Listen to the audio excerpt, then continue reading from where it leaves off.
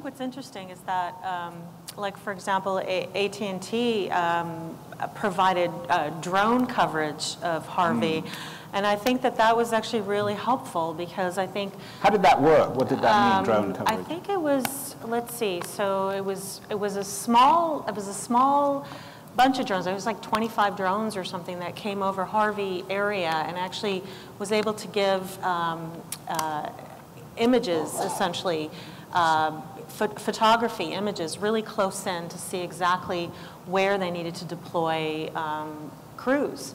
So I think that was Nadia, do you, uh, Nadia, do you want to, we have our resident drone expert here. Nadia? Uh, Nadia, do you want to say something about um, drones and, and, and, and AT&T's contribution? Uh, You just know how to make me wax poetic, bring up drones. Yeah. uh, no, so yeah, I talked to some folks because I, I did some of the initial work in, in when I was at the foundry in Palo Alto on that. And uh, when they decided to deploy here, uh, the first thing they did, you know, like uh, Dr. Shaw was saying, you know, we kept the cell phone networks up for the, the bulk of it for most of the people.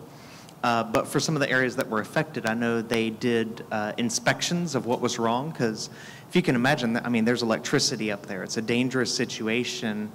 Uh, so it's much safer to send a drone up there to check out what's going on before you send a human. Um, so that was one of the bigger use cases.